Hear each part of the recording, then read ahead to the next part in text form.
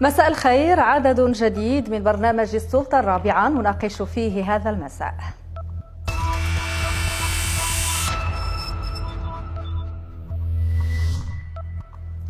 بعد سنتين من تعيينه ماذا حقق الوزير محمد بن عبد القادر في قطاع إصلاح الإدارة والوظيفة العمومية؟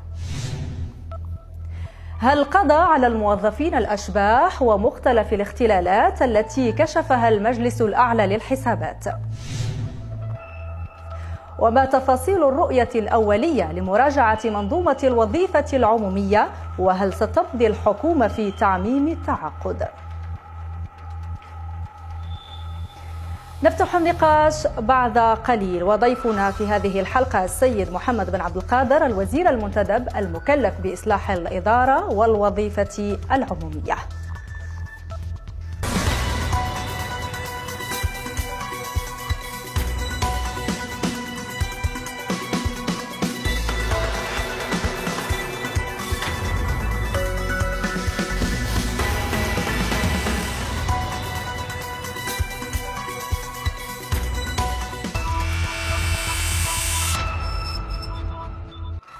مساء الخير من جديد. كما سبقت الإشارة ضيفنا اليوم في برنامج السلطة الرابعة السيد محمد بن عبد القادر الوزير المنتدب المكلف بإصلاح الإدارة والوظيفة العمومية. أهلا بك سيد الوزير. أهلا. أهلا وسهلا. شكرا. على تلبية الدعوة وعلى حضور في برنامج السلطة الرابعة. اذا سيد الوزير ربما حديثنا يبدأ مع الحديث الشارع اليوم وهو حديث الأساتذة المتعاقدين أو الذين فرض عليهم التعاقد. إذا اليوم الوضع ما زال متشنج بين الأساتذة أو تنسيقية الأساتذة المتعاقدين والوزارة أو الحكومة. بداية نود يعني معرفة رأيك بخصوص هذا الملف. أولا ينبغي التوضيح أنه لا يوجد في المغرب أساتذة فرض عليهم التعاقد. واليوم لا يوجد حتى ملف الأساتذة المتعاقدين كيف؟ على اعتبار أن الوزارة المعنية والحكومة معها كانت حريصة على التفاعل الإيجابي والبناء مع مع هذا الملف.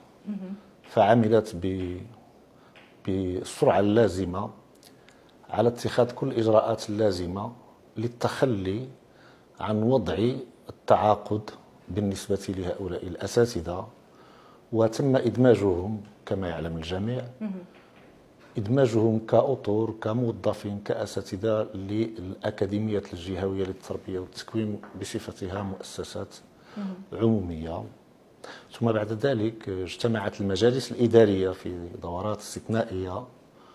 وأدخلت تعديلات على النظام الأساسي لهؤلاء الأطر نعم. وتمت المصادقة وإدماج آه، العديد من النقاط التي كانت مدرجة في مطالب آه، هؤلاء الأطر واليوم نحن أمام آه، أطر يتمتعون بنفس الحقوق التي يتمتع بها الموظفين المندرجين في النظام الأساسي العام للوظيفة العمومية ولكن ربما يعني تنسيقية الأساتذة المتعاقدين يقولون العكس يعني يقولون أنهم لا يتمتعون بنفس الحقوق بالنسبة للأساتذة المرسمين. وإلا ما تكونش هذه الاحتجاجات وهذا يعني توقف الدراسة وآلاف من التلاميذ اليوم هم ربما يخيم عليهم شبح سنة بيضاء. الأمور واضحة بالنسبة للرأي العام والصحافة واللي ومختلف الفاعلين اللي كي كيتوخاو التحري والتأكد والاطلاع على الوثائق والمعلومات وكيعرفوا الأنظمة الأساسية ديال الاكاديميات باش يعرفوا أن الأمر لا يتعلق بالتعاقد. إذا كان استمر المطلب أو هذا المفهوم لا زال يتداول فلاعتبارات ربما ليست مهمة بالنسبة لنا في هذا اللقاء. اللي مهم أنني نبغيو نعرفوا الراي ديالكم على اعتبار يعني المسألة ليست مسألة راي هذا هذا إقرار بأن الأمر يتعلق باساتذه وأطر الأكاديميات على غير المؤسسات العمومية الأخرى الموجودة في المملكة المغربية. ما كاينش غير الأكاديميات راه كاين الوكالات الحضرية وكاين وكالات الأحواض المائية وحتى هي عندها موظفين وعندها أطر مستخدمين وجهويين. غير برأيك واش الحكومة تعاطت مع هذا الموضوع بالشكل الجيد يعني لامتصاص غضب هذه الأساتذة وحرصا يعني طبعا. على آه، مصلحة التلميذ منذ, منذ الوهلة الأولى كانت الحكومة حريصة على التفاعل وعلى التجاوب وبحيث أنه كان في إمكانها ك كمشغل وك وكسلطة آه، تنفيذية مسؤولة أن توزع يعني هذه الإجراءات وهذه التدابير اللي اتخذتها على مراحل كما يحصل دائما في المفاوضات. لكن نظرا للأهمية ديال المسؤولية الملقاة على عاتق هيئة التدريس ونظرا لأهمية العملية التعليمية فالوزارة والحكومة عملت على التجاوب التلقائي والفوري والسريع وأدمجت جميع المطالب وعقدت اجتماعات كما أوضحت والان اصبحوا موظفين لا فرق بينهم وبين طبعا الفرق الوحيد اللي هو ما عندوش واحد الآثار على الحقوق ديالهم والواجبات ديالهم هو أنهم موظفين آه، يندرجون في إطار التوظيف آه، الجهوي وهذا خيار استراتيجي بالنسبة لبلادنا اللي اخترت الجهوية ولا التمركز الإداري. ولكن هناك الحديث يعني حتى على الفصل أحيانا بعض الأساتذة. لهذا السبب يعني كان مطالبة بالإدماج. طبعا التغيب ترك الوظيفة والتغيب على العمل بكيفية مستدامة والإخلال باستمرارية المرفق العام. آه، ملي تنكونوا كنشتغلوا في المؤسسات فهناك حقوق وهناك واجبات وهناك تدابير زجرية وهناك مسؤوليات أيضا تترتب عن ذلك. نحن لا ننسى في الآن إحنا في الأسبوع الرابع وهناك امتحانات إشهادية على الأبواب اللي هي امتحانات حاسمة بالنسبة لمسار التلاميذ وبالنسبة لانتظارات الأسر. فالدولة في مطلق الأحوال لابد أن تكون مسؤولة. يعني على الجميع ماشي فقط غير على الساده الأساتذة باش تسمع لهم وتلبي لهم الطلبات ديالهم بالإمكانات المتاحة ولكن أيضا مسؤولة على على التلاميذ. طبعا.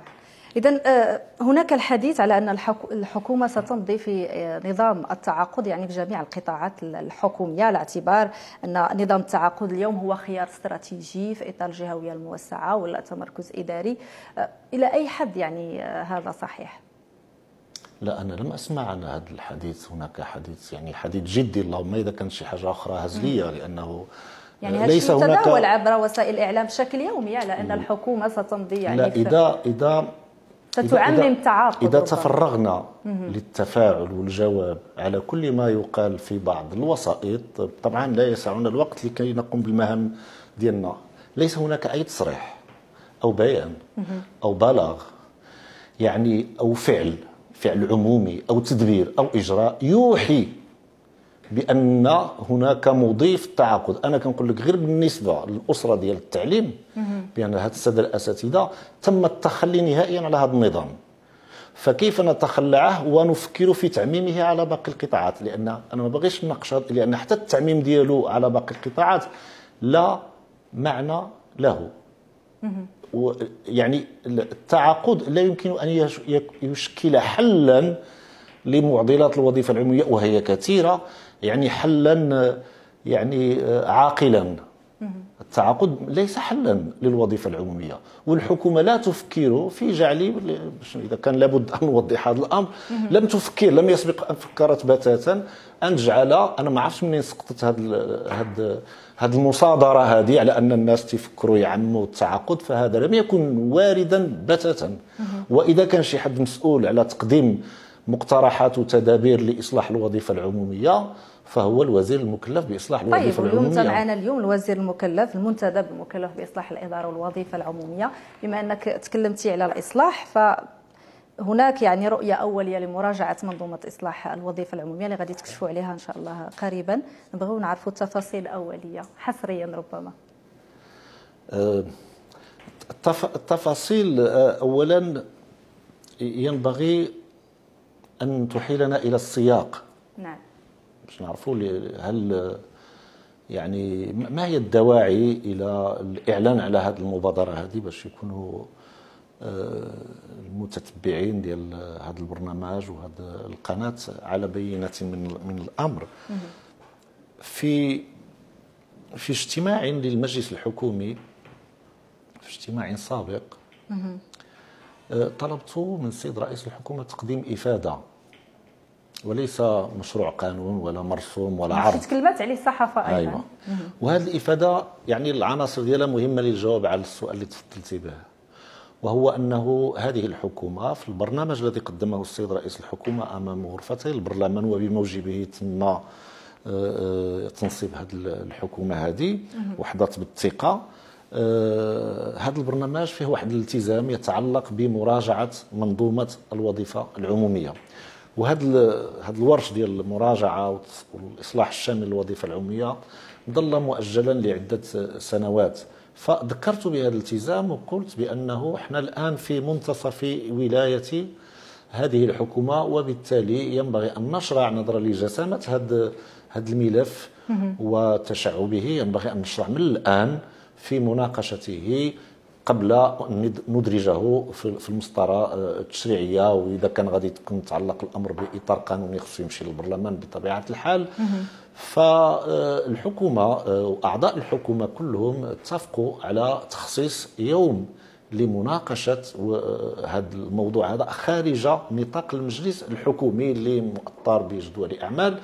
من عادة الحكومة أنها تتعقد اجتماعات خارج المجلس الحكومي اللي كتصادق على نعم. قرارات ومراسيم ومشاريع نعم. قوانين بحال اللي كيكون الشأن مثلا قانون المالية أو بعض المشاريع الهيكلية أه، لكي يكون هناك نقاش معمق لهذا الموضوع ولإغناء الرؤية اللي غادي نتقدموا بها ولتطويرها وبعد ذلك يعني ممكن تكتب لنا على فقط بعض التفاصيل في هذه الرؤية الاستراتيجية لاصلاح النظام يعني الوظيفة العمومية أه، هذه الرؤية هي اولا تنبني على تشخيص وتنبني على ترصيد لواحد الرصيد وثائقي ديال الدراسات وديال التقارير الرفيعه المستوى اللي انتجت انتجتها مؤسسات وطنية. وهذا شيء ينبغي أن نسطر عليه لأن هناك بعض التلميحات وإشارات وشي حديث على شي إملاءات معينة نعم. إحنا الآن معتزين بالتقارير اللي كتصدرها المؤسسات الدستورية المغربية واللي كتشخص الواقع الاقتصادي والمؤسساتي والاجتماعي وحنا عندنا تقارير على الوظيفة العمومية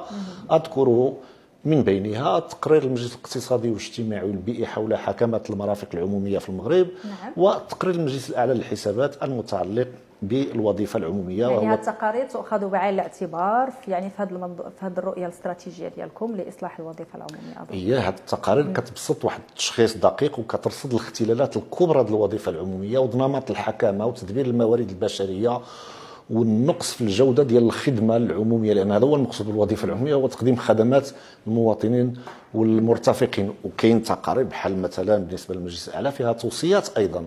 فاحنا تفاعلنا بشكل إيجابي مع هذه التقارير ولكن انتبهنا إلى شيء آخر وهو أن الوظيفة العمومية هي مؤطرة بنظام بقانون بنظام أساسي عام للوظيفة العمومية صدر سنة 1958 هذا القانون 1958 إلى يومنا هذا ما كاين حتى شي تغيير. أه ربما كاين كاين إذا رجعنا ل 58 وعبر السنوات من الستينات والسبعينات إلى الألفية الثالثة يعني آه، كاين هناك حوالي 15 تعديل أدخلت على هذا النظام وهي تعديلات ذات طابع جزئي تقني قطاعي ولا آه، لم لم تطمح ولم ترقى إلى تقديم رؤية أو مقاربة شاملة مندمجة لإعادة النظر في هذا النظام. والآن إحنا عندنا دستور. يعني هذه الرؤية أستاذ اليوم ربما كتأخذ هذا الشيء كله اللي تكلمت عليه بعين الاعتبار. طبعا. وأول شيء تأخذه بعين الاعتبار إذا سمحتي هو مم. هو المبادئ والأحكام والمقتضيات اللي جاب بها دستور 2011 واللي نعم. هي جد متقدمة على روح وفلسفة النظام الأساسي العام للوظيفه العمومية.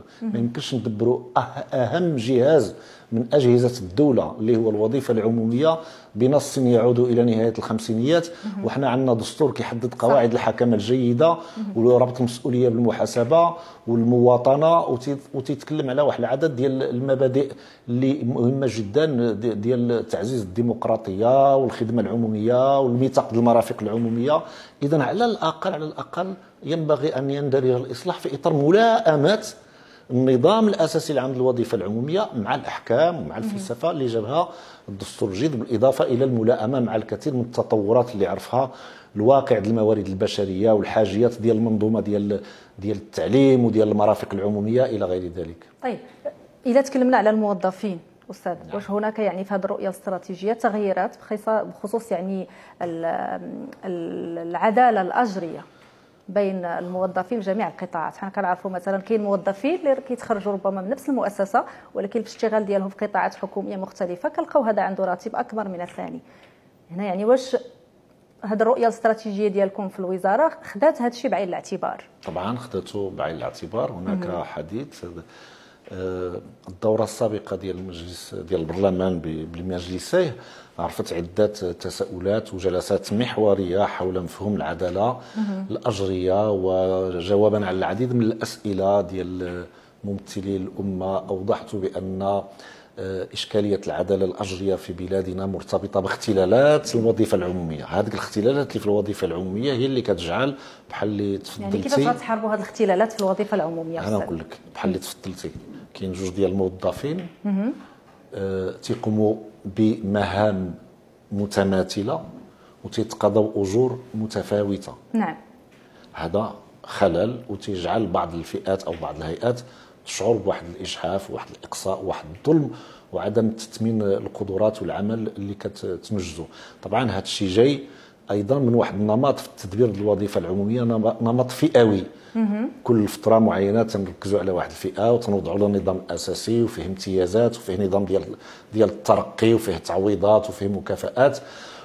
يعني بدون ما ندرجوا داك الشيء في واحد المنظومة شاملة. هاد الأسباب اللي كتؤدي إلى هذا الاختلال في الرواتب وفي الأجور أيضا سنرصد لها الكثير من التدابير والكثير من الإجراءات من بين هذه الإجراءات مثلا لا الإجراءات ما يمكنش سنرصد لها يعني بعد اعتماد الرؤية والمناقشة ديالها. ديك الساعة غادي نشوفوا الصيغة التي ستستقر عليها. الآليات اللي من شأنها ترد الاعتبار. لكن اللي نقول لك في هذه المناسبة هذه هو أن ما يمكنش نصلحوا الوظيفة العمومية بدون النظر في الأوضاع ديال الموظفين باش يكونوا يعني أكثر اقبالا على الأداء الواجب ديالهم والمهام ديالهم احسن أحسن أداء يعني كاين الجانب ديال التثمين وديال الحوافز وديال تعزيز القدرات وديال التكوين المستمر.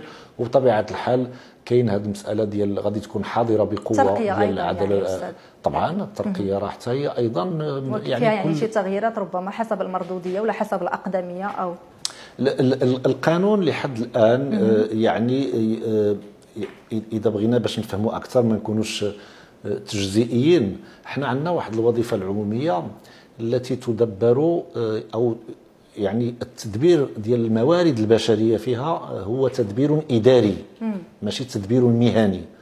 يعني تندبروا الملفات ديال الموظف واش ترقى واش عنده رخصة المرض واش كان في عطلة واش غاب واش غيتعاقب واش غيترقى إلى غير ذلك. المنظومة الحديثة لتدبير الموارد البشرية بالإضافة إلى التدبير الإداري نعم. اصبح اليوم يعني يعتمد على الوسائل التقنية والرقمية ما, ما, ما, ما كيطرحش مشكل. الوسائل الحديثة تدمج التدبير العصري وتدبير مهني والتدبير المهني هو نوع من التدبير التوقعي للكفاءات. شنو هي الكفاءات اللي عندنا في الوظيفة العمومية؟ مثلا أنا غادي نفتح واحد المنصب للتباري. باش بحثا على واحد الكفاءة وأنا وأنا ما عارفش بأن ديك الكفاءة راه موجودة في الوظيفة العمومية ولكن غير مضبوطة حتى واحد ما عرفها ما دخلش في قاعدة البيانات ولا في يعني في في في, في السبورة ديال القيادة باش يمكن الرئيس المؤسسة أو المدير في واحد المديرية يكون عارف الكفاءات ديالو وكيفاش كتطور وكيفاش يمكن هو يأهلها باش تقوم بواحد العدد المهام. اذا الترقية هي فيها ضمانات فيها مكاسب فيها تراكمات. القانون يتيح الترقية بالأقدمية أو بالكفاءة لكن هذا لا يمنع بأنه لرد الاعتبار ولإنصاف العديد من الكفاءات اللي كتشتغل وكتضحي أيضا. حتى هي نعتبروا هذه الكفاءة ديالها في, في, في جودة الإنجاز وفي المردودية وفي في الابتكار وفي حل المشكلات. حتى هي يتم أيضا احتسابها. طيب يعني واش بالسهوله داخل الوظيفة العمومية والاداره العمومية يعني تطبيق هذه المعايير اللي تكلمتي عليها؟ بسهولة أن أي شخص عنده كفاءة مهنية راه ممكن آه، يكون عنده كيف ما قلتي عدالة أجرية جيدة مقارنة مع شخص آخر أو كتدخل ربما نوعا ما المحسوبية والزبونية في هذا الموضوع وأيضا في, في الترقية. هو هي السهولة ما لا, لا مجال لها في الحديث على الشأن العام والفعل العمومي والممارسات في المؤسسات. هناك حقوق واجبات هناك تقييم للسياسات العمومية. هناك تقييم للأداء الفردي. هناك آليات المراقبة كيمارسها البرلمان وكتمارسوها أنتم في الإعلام. هناك آليات للزجر والتتبع والمحاسبه ومحاربة الفساد والرشوة وارتشاء والمحسوبية وتعزيز قيم النزاهة في المرفق العام. اذا الآليات والضمانات اللي موجودة في جميع الدول الديمقراطية راه موجودة. الآليات كاينة وكاينة المراقبة الإعلام وديال المجلس الأعلى للحسابات ودائما يعني كتكون تقارير. المهم هو انها تطبق يعني لتطبيق تكون النزاهه والشفافيه داخل الوظيفة العموميه يعني للاستفاده يعني جميع الموظفين. هذا هو الهدف وهذا هو الالتزام. طبعا إذا كان إخلالات يعني منين تحصل ذاك الإخلالات؟ نعم. وكاين اليات واجهزه كفيله بالرصد ديالها. أنا ذاك كيتمنحها ولكن ماشي ملي كيبدا الإصلاح تيكونوا فحال واحد الرأي العام معين تيبدا يطلب ضمانات. ايوا واش اذا كان الرئيس تينقط ولا تيقيم المرؤوس ديالو غتكون الميزان على اعتبار نعم. يعني مثل هذه الممارسات هي موجودة شئنا أم أبينا.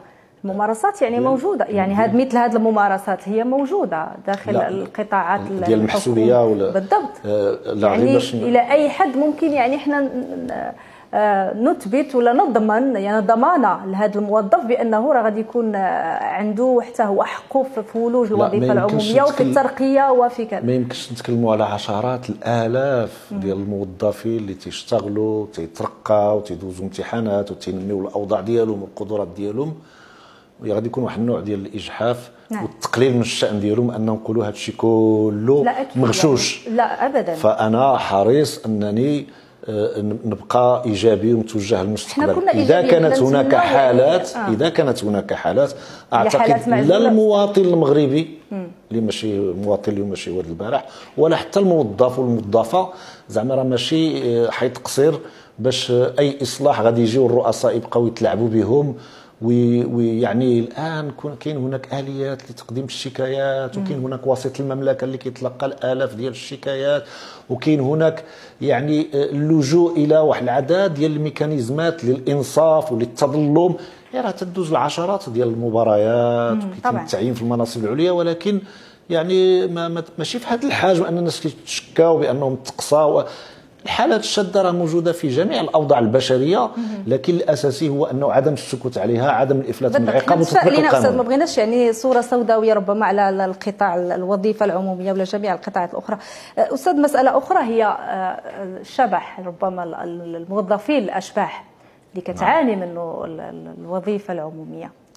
إيه نحن في كنسميوهم المتغيبين بصفة غير قانونية عن العمل. يعني والصحافة والإعلام هم موجودين بعد؟ آه طبعا موجودين لكن ماشي بهذا الحجم اللي تيصوروا الإعلام. ماشي بهذا الحجم. كيف؟ ماشي بهذا الحجم لأنه هذه العبارة ديال الأشباح هي عبارة من الناحية الإعلامية مشوقة لكن آه وهي في تنازل آه، لأن دارت واحد العدد الآليات وديال المقتضيات والمساطر الزجرية والمحاسباتيه لتصدي لها الظاهرة ول آه، يعني آه، إعمال المسطرة القانونية في حالة التخلي بكيفية مستدامة على العمل.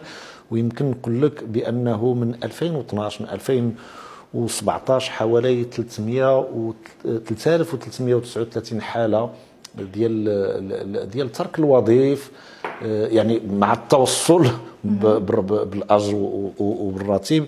هاد الحالات ديال التغيب على العمل مثلا في 2012 يعني تم الرصد بالآلية اللي تم الاعتماد ديالها ديال حوالي 665 حالة في مختلف القطاعات ديال الإدارة العمومية. وبقات كتنزل حتى وصلت في 2017 281 حالة. حالة بطبيعة الحال أحيانا كيتبين أن بعض الموظفين كيكونوا في حالة آه، الوضع راه الإشارة آه، لدى مؤسسات أخرى أو يقومون بمهام آه، يعني اللي كتكون كتنفلت من آليات ديال الضبط ومن قاعدة البيانات في القطاعات الوزارية. الآلية يمكن نقول لك أنها ما كافياش أنا بالنسبة لي ما كافياش حنا غادي نقدموا بعض الاقتراحات لتطوير هذه الآلية باش حتى دوك 200 مقترح أستاذ من هذا باش حتى دوك 281 حالة. اولا خصنا خصنا يعني شوية الابتكار لأن ما يمكنش الإدارة راه معروف عليها كتكون بطيئة وكتبقى كتبقى تكرر واحد الممارسة للعشرات السنوات. والآن كاينة آليات عصرية جديدة بالتكنولوجيا الاتصال والرقمية. يمكننا نضبطوا الحالات اللي كيمكن تكون يعني في هذا الوضع هذا يعني خارج المقرات العمل وربما كتزاول كتزاول مهام أخرى. لكن إذا سمحتي واخا كيتم التركيز على الأشباح من الأشباح آه، يعني الظاهرة الأخطر ماشي هما الأشباح. لأن هذه محاصرة من من تقريبا حوالي 570 ألف موظف في الإدارات العمومية يكون عندنا 281 الظاهرة الأخطر كذلك هو يعني يا إما واحد النوع ديال الحضور الحضور غير المنتج يعني سكون ابيل آه، يعني آه، الظاهرة الحضورية آه، يعني في مقابل الظاهرة الغيابية يعني l'absentéisme وكاين حالة أخرى هو عدم الانضباط في مواقيت الدخول والانصراف طيب من العمل غادي نوقفوا في هذه النقطة بالضبط ديال هاد الأشخاص ولا هاد الموظفين اللي كيقوموا مثل هاد السلوكات. واش الإدارة عندها الحق ربما ديال العزل ديالهم أو الفصل ديالهم؟ بعد الفاصل نعود لمواصلة نقاش أستاذ وأكيد هناك محاور أخرى لمناقشتها. ابقوا معنا مشاهدينا في برنامج السلطة الرابعة.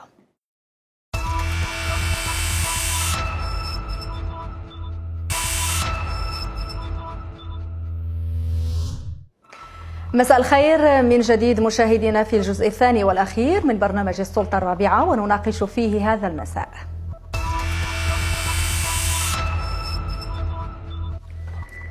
بعد سنتين من تعيينه ماذا حقق الوزير محمد بن عبد القادر في قطاع إصلاح الإدارة والوظيفة العمومية هل قضى على الموظفين الأشباح ومختلف الاختلالات التي كشفها المجلس الأعلى للحسابات؟ وما تفاصيل الرؤية الأولية لمراجعة منظومة الوظيفة العمومية وهل ستمضي الحكومة في تعميم التعاقد؟ أهلا بكم من جديد في برنامج السلطة الرابعة ونعود لمواصلة النقاش مع السيد محمد بن عبد القادر الوزير المنتدب المكلف بإصلاح الإدارة والوظيفة العمومية. أعود إليك أستاذ مرة أخرى. قبل الفاصل شرت ربما النقطة هي جد جد مهمة بالنسبة للموظفين المتغيبين أو الذين يحضرون ولكن غير منتجين هنا واش الإدارة عندها الحق فصل هؤلاء الأشخاص ليس بالضرورة الفصل كاينة واحد المسطرة باش تفهموا كيفاش الضمانات اللي كيتمتع بها الموظف آه، العمومي. أنه كاينة مسطرة آه، طويلة جدا فيها تنبيه فيها إنذار مسطره طويلة فيها جدا. في آه, آه طبعا لأنه ما يمكنش واحد الموظف يتغيب لواحد المده معينه ويتم الاقتطاع الراتب ديالو. يمكن خصنا نتاكدوا ويتوصل بالانذار وشو هو العذر ديالو. ويمكن يكون الاقتطاع من الراتب ديالو ماشي الطرد المباشر يكون الاقتطاع من الراتب. هذه المسطره كلها كيتم استنفاد فيها. وكاين الحالات اللي تم العزل ديالها من الوظيفة لأن تبين أنها انقطعت نهائيا عن الوظيفة ونظرا للاختلالات في التدبير. بقات توصل بالراتب كاين اللي كيتوقف له الراتب ديالو. فقلت لك ان هذه الظاهرة متحكم فيها وهي في في انخفاض لأنه في السنوات الأخيرة كانت هناك واحد الصرامة في تناول هذا الموضوع. لكن أنا قلت لك إحنا الآن منشغلين بظاهرة أخرى اما هذه راه غادية كتقلص وكتندثر نعم.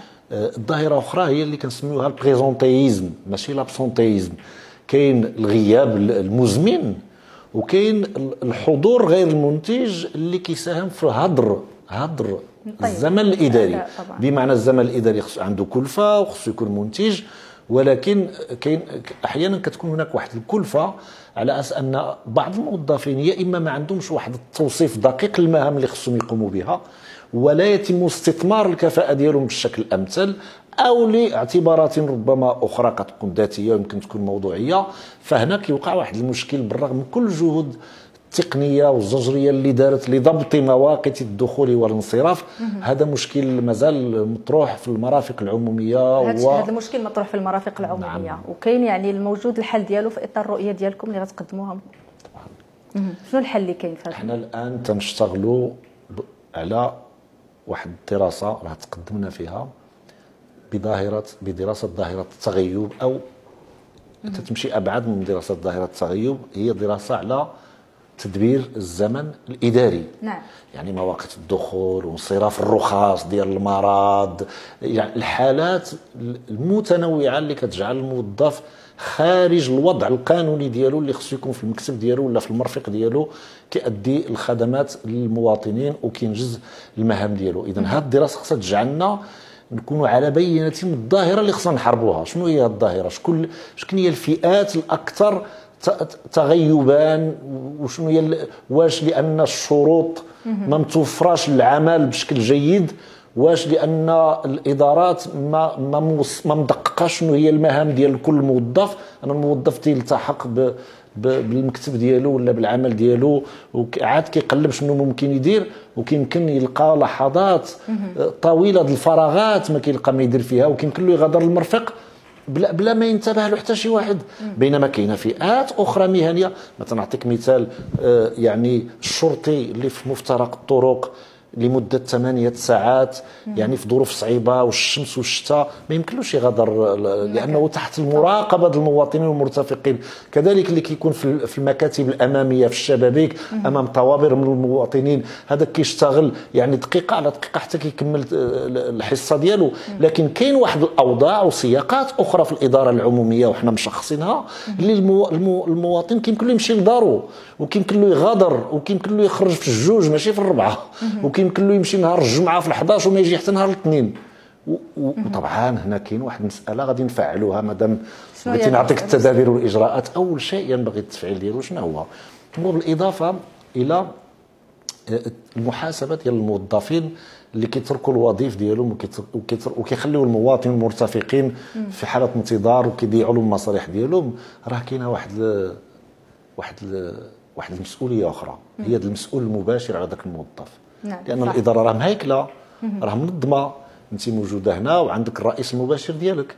اذا كاين مصالح كاين مكاتب كاين أقسام كاين مديريات كاين مؤسسات وعلى رأس كل وحدة إدارية كاين واحد الرئيس. فإذا كان الموظف يغادر المكتب ديالو وكاين حالات كثيرة للمواطنين كيجيو كيلقاو المكاتب فارغة. صح. فكاين واحد الرئيس يا إما يتغاضى يا إما هذه أيضا غادي نتخذوا فيها الإجراءات. اللازمة وحنا غاديين في هذه الدراسة هذه باش كل ما فهمنا بشكل أعمق علاش كيتغيبوا الناس واش الشروط المادية ديال العمل واش التوصيف ديال المهنة ما واضحاش واش كاين هناك تواطؤ وتخاذل. خصنا نعرفوا هذه الظروف هذه باش نوضعوا حد لهذه الظاهرة هذه اللي جات في واحد العدد التقارير في واحد العدد الدراسات واللي هي مخلة باستمرارية المرفق العام. نعم. كاين حالات مثلا اللي كياخذوا ربما إجازة طويلة المدى بدون تعويض. لا غير وفي مكانهم يبقى في الوظيفة العمومية بدون وبالتالي بدون تعويض بدون, بدون, بدون راتب. بدون راتب. لعلك تتحدثين عن واحد المسطرة موجودة. هي هي, موجودة هي ولكن الاستيداع الاداري وهذا حق أيضا لأن حق ولكن ربما كيمنع على شخص آخر هذاك المكان. لا. يعني كيبقى شغله لواحد المده لا. طويلة. شوف هذا الشيء كله بصدد المراجعة فيه اختلالات كبرى. ولكن مع ذلك نوضح أنه الموظف لاعتبارات كثيرة جدا يعني يراعيها المشرع ولا المشغل ولا اللي هو الدولة. هو أن الموظف طيلة المسار المهني ديالو في واحد القطاع إلى أن يحال على التقاعد. راه كيمكن له يحتاج شي مرة شي علاج طويل المدى كيمكن له مثلا يمشي يحضر واحد الأطروحة واحد البحث اللي خصو يتفرغ له. فهو تيطلب من الإدارة ديالو واحد ما يسمى بالاستداع الإداري بدون راتب. نعم. أو مثلا واحد الموظفة اضطرت ترافق الزوج ديالها في واحد المهمة خارج التراب الوطني واحد المهمة طويلة يمكن لها تطلب واحد السنة ولا ولا هذاك الشيء مقنن ومؤطر بالقانون يعني تتوقف له الراتب ديالو حتى كينهي ذاك المدة عاود كيتدمج عاود كيرجع للوظيفة كاين اللي كيمشيو كيشتغلوا في قطاعات أخرى في القطاع الخاص لا ما عندوش الحق يشتغل إذا كان كيشتغل. إذا كان هنا يعني خاص آليات لضبط هذا الموظف هذا الشيء كله هادو الثغرات يعني وشكرا على طرح هذه الجوانب. حتى لا نختزل الرؤية الإصلاح فيما سمي بالإجهاز. الإصلاح راه تيتناول هذه الاختلالات الكبرى تدبير تدبير المنظومة الوظيفه العموميه معني بها يعني المواطن حتى هو معني بها. هذا الشيء راه في صالح الموظف ولكن نرجعوا على المواطن والمرتفق اللي كيتعامل مع مع الموظفين في في يعني خاص يعني يكون الضمير المهني عند هذا الموظف أنه غادي على ذكر الضمير المهني. يحجز مكان في إطار الوظيفة العمومية ويذهب للاشتغال في قطاع يعني الخاص ويمنع شخص آخر من العمل يعني سألتيني على ضمن الرؤية ديال الإصلاح هناك أيضا مدونة أخلاقية لسلوك الموظفين أيضا سنقترحها. نعم. يعني واحد النوع ديال الاخلاقيات المهنية في المرفق العام. بالإضافة للقوانين اللي فيها الواجبات والحقوق والمساطر نعم. الزجريه اذا غير باش نمشيو لمحاور أخرى ولكن قبل غنتكلموا على المجلس الأعلى للوظيفه العمومية. نعم. هو يعني يحمل صفة استشارية. طبعا. شنو المهام ديالو في, إطار اصلاح هذا واحد المجلس كان يعني ينص عليه النظام الأساسي العام للوظيفة العمومية كهيئة استشارية تتشكل من ممثلي الإدارة وممثلي الموظفين عبر التمثيلية ديالهم في اللجان الثنائية. أه هذا المجلس في الحقيقة حتى هو أيضا علاش ما فيهش تمثيلية النقابات؟ كان في في البداية ديال سنوات الاستقلال كانت التمثيلية المباشرة للنقابات ومن بعد كان واحد التعديل على هي النقابات موجودة ولكن عن طريق لأن اللجان الثنائية تتحضر فيها أيضا.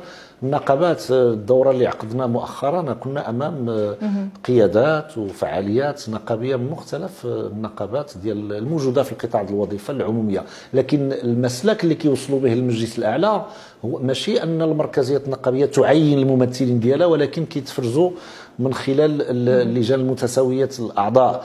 هذا المجلس بحد ذاته يحتاج إلى مراجعة ويحتاج إلى إصلاح باش يكون أكثر تمثيلية نعم. وأكثر فعالية. مم. لذلك فالمجلس اللي ما انعقدش منذ 2014 بقى في حالة ركود وجمعناه. حتى هو موجود في إطار هذه الرؤية أستاذ؟ حتى هو موجود يعني أن إصلاح المجلس الاعلى للوظيفة العمومية. وجمعناه مؤخرا. وناقشنا يعني باش يقوم بالدور ديالو آه، كما يجب. تماما. آه، آه، مسألة أخرى. هو أستاذ يعني تم دخل قانون الحق في الحصول على المعلومة حيز الوجود. اذا هذا الشيء داخل في إطار الإدارة. حنا كنعرفوا قلتي قبيلة نعم. بأن الإدارة بطيئة جدا. فكيفاش اليوم الإدارة المغربية غتتفاعل مع المواطن المغربي اللي عنده الحق في الحصول على المعلومة؟ واش خديتوا هذا الأمر بعين الاعتبار؟ اول اولا خصنا نعترفوا بأن خروج هذا النص القانوني ودخوله منذ 12 مارس الجاري دخوله حيز التنفيذ هو تحول نوعي في الثقافة الإدارية في المغرب. الإدارة المغربية آه، هي واحد النموذج مبني على الكتمان وعلى السر المهني وعلى الانغلاق. والآن بطبيعة الحال هذا هذه فيها واحد الإرادة السياسية لأن القانون تم الإعداد ديالو مع المجتمع المدني مع الخبراء. وتمت المناقشة ديالو في البرلمان والإغناء ديالو. وأنا شخصيا أدمجت الكثير من الملاحظات ماشي فقط من الفرق الأغلبية حتى من ديال المعارضة باش خرج النص في هذا في هذا في هذه الصيغة هذه اذا هذا مكسب مهم وتحول كبير الآن غادي المواطن يمكن له يجي للاداره ويطلب وفق المسطره المضبوطة في القانون يطلب المعلومة التي توجد في حوزة الإدارة. يعني كل إدارة كل هيئة مكلفة بالمرفق العام مدعوة إلى وضع المعلومة اللي في الحوزة ديالها واللي عندها الطابع الطابع العمومي ماشي الطابع الشخصي ماشي تمس المصالح طبعا. العليا الوطن تعطيها تعطيها للمرتفق. والآن إحنا بصدد يعني يمكن نقول لك الأسبوع المقبل غتنطلق الدورة الأولى ديال التكوينات لأن أنا رصيد الساده الوزراء وعينوا الأشخاص الموظفين اللي غادي يتكلفوا بهذا بهذا بهذه الخدمة لأن اصبحت خدمة إعطاء المعلومة للمواطن غادي نديروا لهم واحد الدورة تكوينية بدعم من الخبراء ديال ديال اليونسكو آه، بناء على المقتضيات ديال ديال القانون ديال الحق في الحصول على المعلومة. طيب أه ربما نمشيو المحور المهم جدا هو الإبقاء على التوقيت الصيفي. نعم. الابقاء على التوقيت الصيفي ربما كانت مفاجأة لجميع المواطنين المغاربة. ثم خرجتوا بتصريح وتكلمتوا بأن هناك دراسة فين وصلت أستاذ أه كما أعلنت عن ذلك في مجلس النواب ومجلس المستشارين وبعض المنابر الإعلامية أنه من بعد صدور المرسوم اللي كيمدد آه، اعتماد الساعة الصيفية يعني 60 دقيقة على التوقيت الرسمي للمملكة.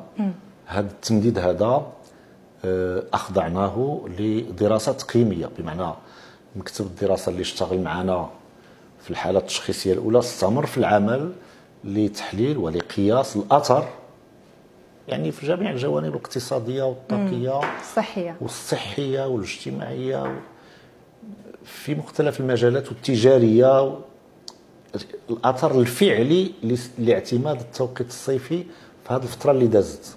يعني طيب الدراسه أستاذ فين وصلت؟ مازال ما خرجتش. لا إحنا إحنا قلنا بأن الدراسة غادي تنتهي في أواخر مارس بداية أبريل وانذاك سيتم الإعلان عليها. يعني ستعلن في هذه الأيام القليلة؟ آه طبعا. ملي غتنتهي الدراسة غادي نعلنوا على النتائج ديالها وغادي ننشروها. حتى هي داخلة في الحق الحصول على المعلومة. غادي ننشروها نشرا استباقيا قبل ما يطلبوها الناس. غادي ننشروها في, في بالإمكانات بالوسائل المتاحة باش يطلعوا عليها المواطنين. طيب ولكن يعني في أثار الجدل ربما هذا الإبقاء على التوقيت الصيفي نعم. على اعتبار أن كان عندكم بلاغ ديال الوظيفة العمومية اللي كيتكلم على أن سيتم الرجوع إلى التوقيت الأصلي للمملكة المغربية توقيت غرينتش ولكن بعد يومين كان قرار مفاجئ فهذا الشيء ثار كثير من الجدل. فكيفاش نفسروا؟ يعني كانت دراسة وفي نفس الوقت أنتم درتوا بلاغ. لا واش ضروري نرجعوا لهذا الجدل؟ هذا الجدل كان في نقاش وجاوبنا عليه ما كاين مشكل. لا ماشي الأمور لم تتم بهذا بهذا بهذه الكيفية هذه أه كاين مرسوم ديال 2012 اللي كيزيد 60 دقيقة على التوقيت الرسمي للمملكه في الأحد الأخير من شهر مارس وتيتم السحب ديالها والحذف ديالها. في الأحد الأخير من شهر أكتوبر. ياك؟ إحنا كنا على مشارف الأحد الأخير من شهر أكتوبر اللي غادي نقصوا في هذاك الساعة. لكن قبل ذلك بكثير يعني ببضعة أشهر انتبهنا إلى أن المغاربة والرأي العام أصبح متذمر من هذا التوقيت المزدوج. لأن تزيد ساعة وتتنقص ساعة. تزاد عليه يعني أصبحنا أمام أربعة ديال التغييرات ماشي اثنين. في شهر رمضان عاود تنقصوها عاود تنزيدوها عاود تنقصوها فقلنا واش هذا التوقيت المزدوج؟ واش عنده شي آثار سلبية على المواطنين والاضطرابات والنوم إلى والحياة العامة والنظام العام إلى غير ذلك؟ وقمنا بواحد الدراسة اللي أكدت لنا بأن التوقيت المزدوج آه، آه، يعني الأضرار بعض الأضرار ديالو واخا هي محدودة في المدة أكثر من الفوائد ديالو. وحصلت القناعة بضرورة الاستقرار على توقيت واحد. وهو ما وهو ما قرره البرلمان الأوروبي مؤخرا أنه الاستقرار على توقيت واحد واش الشتوي ولا الصيفي؟ الحكومة انطلاقا من الاختصاصات ديالها التدبيرية والتنظيمية قررت الاستقرار على التوقيت الصيفي لأنها عندها فرضيات أنه أكثر فائدة. لكن ما كانش غادي نقصوا ذاك الساعة نهار الحد الآخر في أكتوبر ومن بعد عاود نزيدوها باش نستقروا على الصيفي طيب يعني ما كانش لماذا لم يكن يعني ربما بلاغ قبلي بأنه راه كاينة دراسه وبانه هناك إمكانية لا دراسة على التوقيت لا دراسة أعلنت عليها بأنها كاينة دراسة. أنا كنت أعلنت عليها بأننا غادي نطلقوا ولكن لأن الدراسة تعلنت في نفس الوقت يعني في, في, في إطار يعني من بعد ما تم الابقاء على التوقيت الصيفي. عاد هناك الحديث على أنه كاينة دراسة وكاين بحال العشرات والمئات ديال الدراسات اللي كاينة في جميع الوزارات والقطاعات لأن هذه الدراسة هذه الوحيدة اللي اللي استأثرت بالاهتمام ديال المواطن يعني إحنا الدراسات تنشتغلوا على واحد العدد القرارات كتكون مدعمة بدراسات ميدانية لتأكيد التوجهات اللي كنشتغلوا عليها. الدراسة كانت موجودة ولكن كنا كننتظروا أننا نتوصلوا بالخلاصات والتقارير ديالها النهائية باش نعنوها على المواطنين وكذلك تم طيب ربما الحكم اللي صدرته المحكمة الدستورية بناء نعم. على طلب رئيس الحكومة بخصوص القرار المتعلق بهذه الساعة القانونية للمملكة القاضي بإضافة 60 دقيقة ربما دار واحد الجدل على اعتبار أن المحكمة الدستورية يعني يجب اللجوء إليها من رئيس الحكومة قبل تغيير المرسوم لا ما كاينش هذا الجدل طيب وأكيد يعني كاين عبد اللطيف وهبي المحامي البرلماني حزب الاصل والمعاصره يعني آه، استغرب هذا القرار وقال بأنه مخالف صواب وفقا لما تنص عليه المادة 73 من دستور المملكة. شوف المحكمة الدستورية أصدرت قرارا. ياك؟ وهذاك القرار فيه تصريح واحد. فيه الحيثيات يعني البنية ديال القرار فيه الحيثيات حيث وحيث الاختصاصات والصلاحيات المحكمة الدستورية وحيث فإنها تصرح بما يلي. نقطتان إلى السطر. أن المرسوم الملكي الصادر سنة 1967 واللي كيتكلم على التوقيت يندرج ضمن الاختصاصات التنظيمية. ماشي التشريعيه طيب. النقطة الثانية ينشر هذا التصريح في الجريدة الرسمية. هذا الشيء اللي قالت المحكمة. المحكمة لم تتحدث عن دستوريه أو عدم دستوريه ما قامت به الحكومة. لا هي ما تكلمتش نعم. يعني اللجوء ربما رئيس الحكومة المحكمة الدستورية من بعد ما تم إصدار المرسوم. هو اللي يعني فيه ربما مخالف. لا من يقول بأنه مخالف؟ هذا يعني تصريح ديال عبد اللطيف وهبي اللي هو محامي وحتى ربما الناس الفقه الدستوري حتى ما تكلموا في هذه النقطة. لا لا لا ابدا, على أبداً. طيب غير آه باش نغلقوا هذا الملف ديال الساعة. الصيفية. واش ممكن يعني آه، هناك امكانيه ربما الرجوع للتوقيت العادي؟ نحن ننتظر كما وعدنا الرأي العام والشعب المغربي النتائج ديال الدراسة وأنا ذاك الحكومة. يعني على أساس نتائج هذه الدراسة الحكومة تتخذ القرار؟ الآية هذاك الساعة هي غادي تشوف في أي اتجاه يمكننا يمكننا نمشيو. طيب غنمشيو نتكلموا شوية على حزب الاتحاد الاشتراكي. آه هناك ربما الحديث على أن آه، الاسم ديال السيد آه، محمد بن عبد القادر من بين الأشخاص المتداولة لخلافة دريس لشكر الكاتب الأول لحزب الاتحاد الاشتراكي القوات الشعبية. الناس اللي كيتداولوا هذا الاسم هما اللي خصهم يجاوبوا على هذا السؤال؟ أما أنا فقد قلت أكثر من اللازم في عدة مناسبات أنني غير معني بالأمر. مم. وليس لدي طموح في هذا الاتجاه. لأن لماذا؟ ما دام جبتي الموضوع. لأن المطروح بالنسبة لي أنا في تقديري الشخصي بالنسبة للاتحاد الاشتراكي في الأوضاع الراهنة مشكلته ليست مشكلة كاستين استبدال وجه بوجه أو اسم باسم هو آه، هو التفكير في مشروع جديد في مشروع جماعي وقيادة جماعية جديدة وجيل جديد.